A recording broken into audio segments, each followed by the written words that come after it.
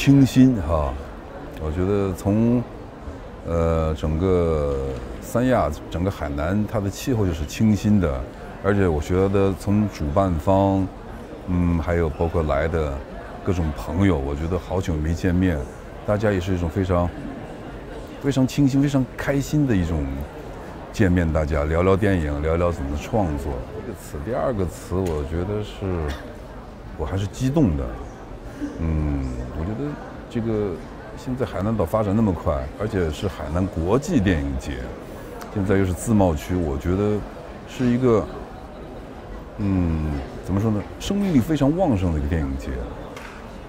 嗯，第三个词，鞭策。那么多好朋友，我觉得鞭策我就是应该更加努力，拍出更好的电影，奉献给大家。呃，我觉得无所谓，电影嘛，它是需要，呃，每一朵鲜花都是需要很多的绿叶去给它去培生出来的。而且我在之前的采访过我，我说我我有时候就是一滴酱油，但是我觉得我这滴酱油是非常鲜的，